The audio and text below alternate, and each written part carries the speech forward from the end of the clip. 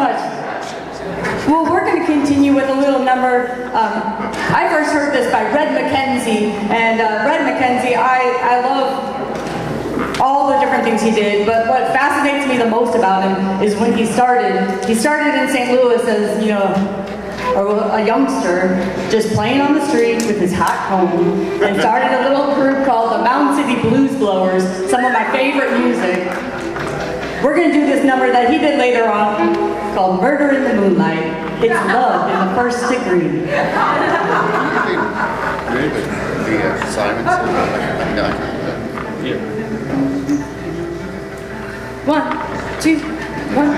The Simon.